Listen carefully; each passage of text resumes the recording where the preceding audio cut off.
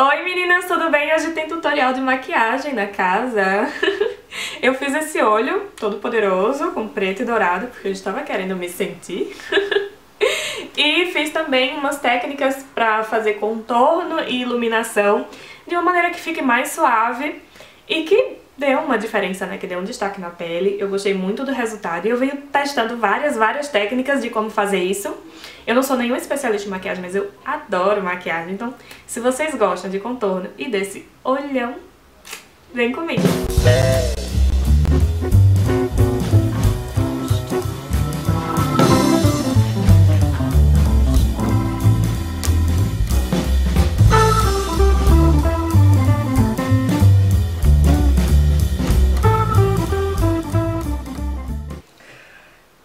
Começar? Eu vou começar preparando a minha pálpebra para sombra, usando esse primer aqui da MAC, chama Prep and Prime.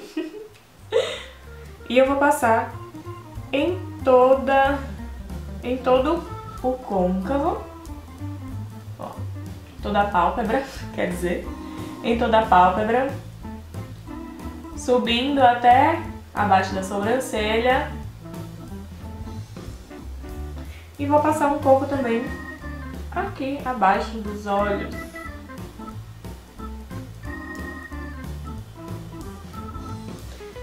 Foi.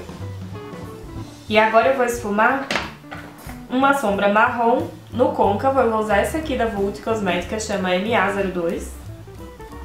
Isso vai me dar uma profundidade no olhar. E aí eu vou com a mão bem levinha esfumando esse côncavo.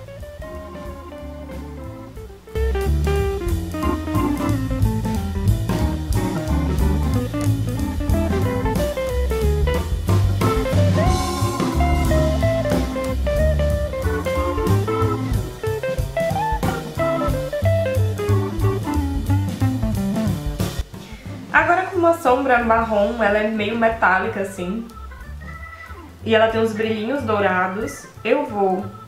O nome dessa sombra é Snake Bite, ela é da paleta Naked 2, da Urban Decay. Eu vou aplicar essa sombra em toda a minha pálpebra móvel. Agora, com um pincel lápis e uma sombra... Ops! E uma sombra preta fosca, eu vou usar Blackout da mesma paleta.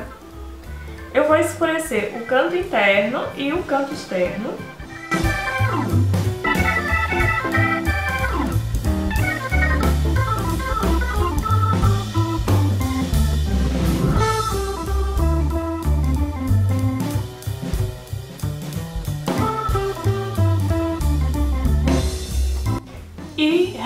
Reforçar é, o traço aqui do côncavo, marcar bem o meu côncavo com essa sombra preta.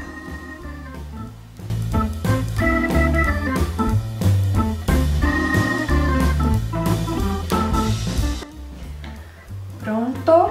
Agora eu vou voltar com a sombra marrom fosca do início da maquiagem e vou reforçar esse esfumado.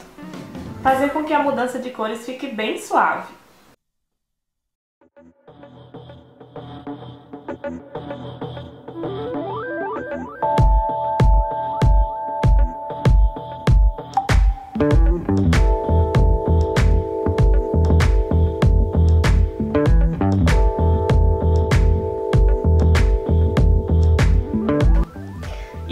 Voltar lá com aquela sombra Snake Bite, que é o marrom mais metálico. E vou esfumar essa marcaçãozinha com preto aqui e também suavizar essa mudança de cor.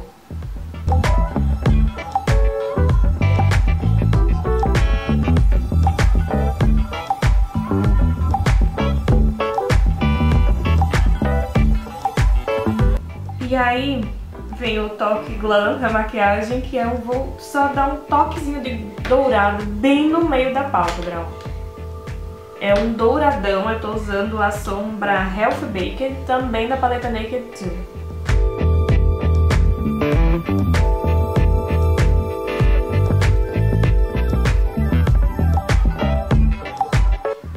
Pronto, agora vamos para a parte inferior dos olhos. Eu vou usar um lápis preto e passar ele bem rente à raiz dos cílios. Eu tô usando um lápis preto da Max Factor, que eu estou usando esse lápis simplesmente porque o meu Colossal Cajal acabou. Eu sou viciada, gente, no Colossal Cajal da Maybelline.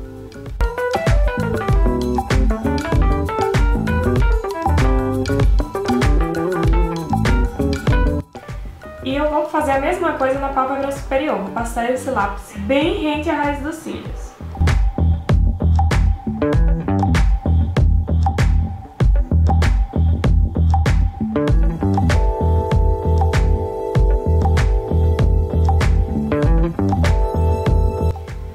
E agora, com o pincel bem durinho, eu vou voltar com aquela sombra marrom da Vult e esfumar esse traço.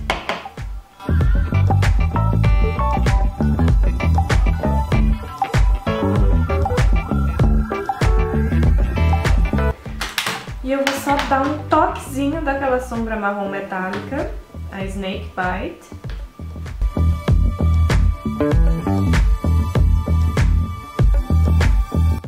Agora vem a hora tensa, que é a hora do delineador. Eu vou usar o delineador canetinha da Vult.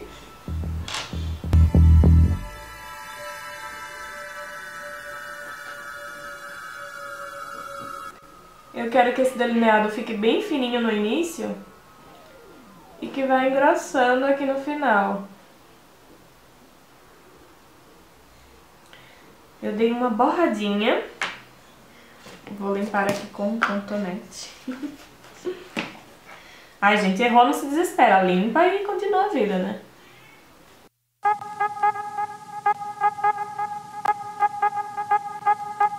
Agora eu vou descer aqui, ó e completar o tracinho, preencher o gatinho.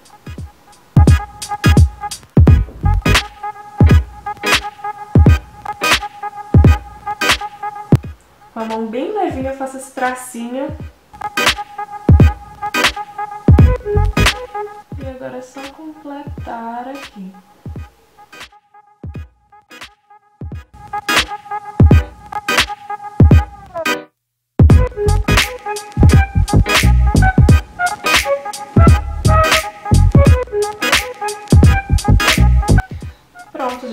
Olhão. Eu vou só retocar um pouquinho de preto aqui.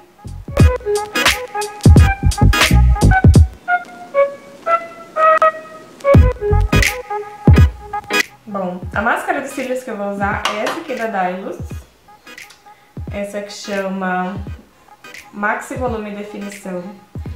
Eu tenho uma relação de amor e ódio com essa máscara porque ela tem o pincel bem gordo, tá vendo? E ele carrega muito produto. Então, se você tira o pincel e já coloca direto na pálpebra, na pálpebra não, nos cílios, vai causar uma melequeira que você não tem noção. Então, o que, que eu faço? Eu tiro, vou tirando o excesso assim, ó. E quando eu vejo que já saiu bem o excesso, aí eu mando para os cílios. Queria fazer de um jeito que desse pra ver bem a diferença.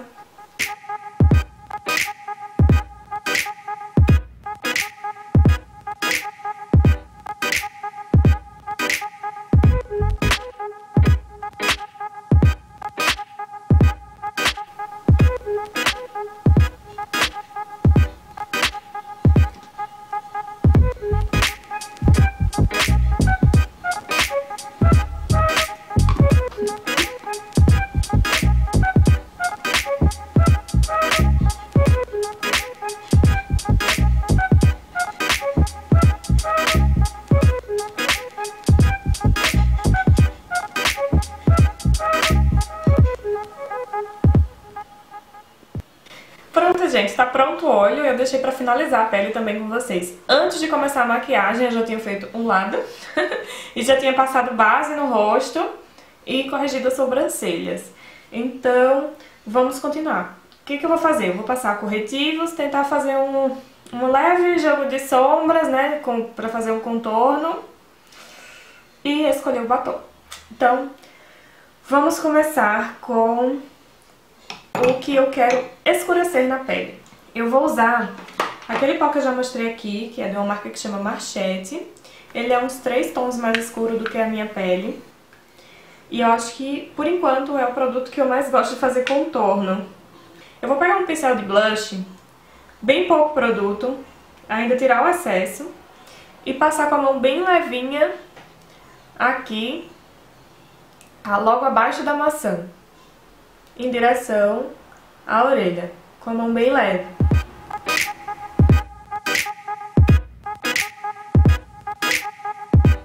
Com o restinho de produto que tem aqui, eu vou passar no nariz.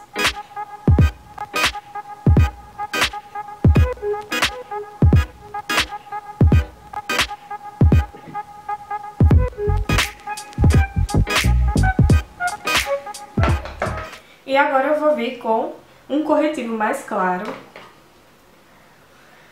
para fazer esse tal desse jogo de luz e sombras. Eu tô usando o corretivo da Tracta, no tom médio, que fica bem mais clarinho que minha pele. Ó. Aí eu vou vir aqui da pontinha do nariz, ó, e vou até a têmpora. Com ele. Vou fazer um risquinho bem de leve aqui no ossinho do nariz, com o dedo eu vou espalhar. Vou iluminar aqui o centro da minha testa e, consequentemente, essa outra parte vai ficar mais escura, né? Queixinho.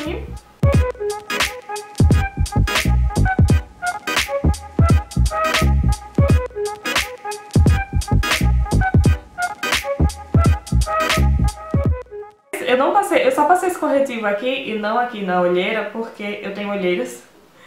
E esse tom muito mais claro só iria acinzentar o tom da minha olheira. Então eu vou vir com um corretivo um pouco mais escuro. Eu tô usando esse que é da MAC. E ele é bem o tom da minha pele. E é ele que eu uso aqui para apagar as minhas olheiras.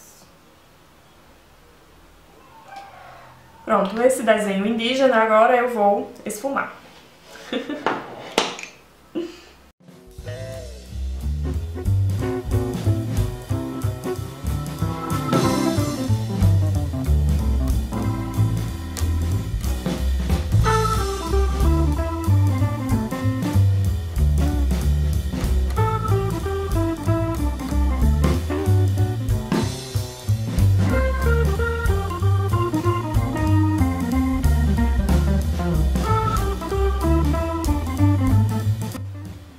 fazendo sinal feito pra vocês, viu? e aí eu vou esfumando aqui, ó, o ossinho. Viu como o pó mais escuro que eu tinha passado antes acaba criando aquele efeito de, de contorno?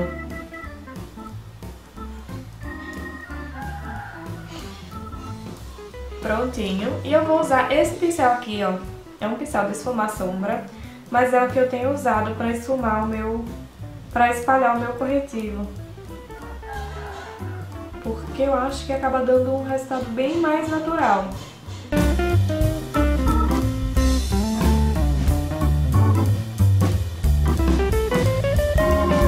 Eu trago ele aqui até a base do nariz, ó, porque isso finaliza o meu contorno de nariz.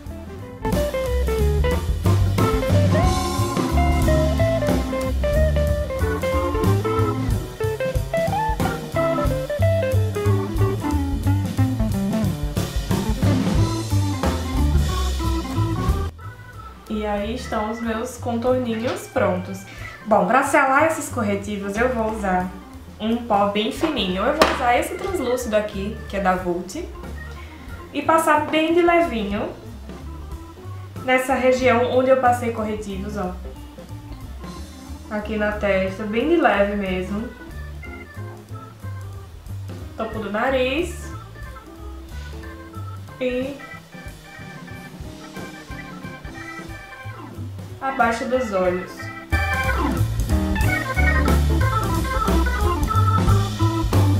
Isso também, né? Agora eu vou passar o blush, eu vou passar esse bronzeador aqui da Mary Kay. Ele é o Medium Dark. vou passar com aquele mesmo pincel que eu passei o, o pó mais escuro. Só que eu vou passar acima dele, né? Vou passar o blush bem nas maçãs.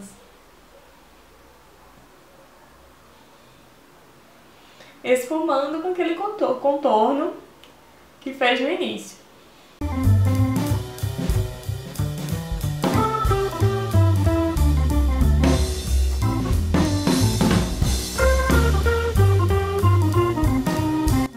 E agora eu vou vir com o iluminador, eu vou usar esse Skin Flash aqui da Dior.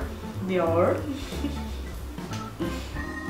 que ele é assim, ó, em canetinha. E vou passar só aqui, bem em cima de onde você passou o blush, fazendo tipo um C até a têmpora.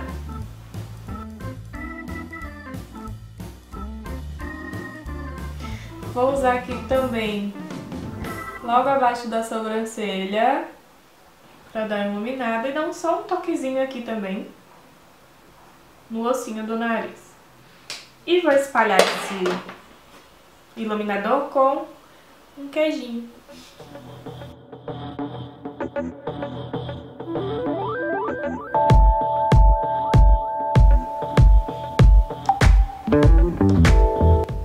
E uso um pincel de corretivo para espalhar aqui o acima da sobrancelha, abaixo da sobrancelha.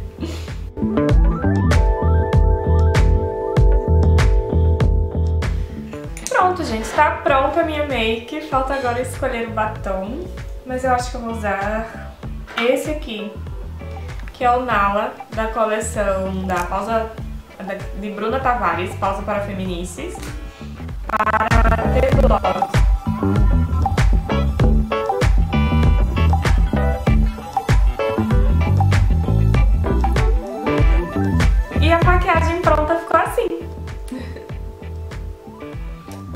Ficaram bem levinhos. E o olho ficou bem poderoso.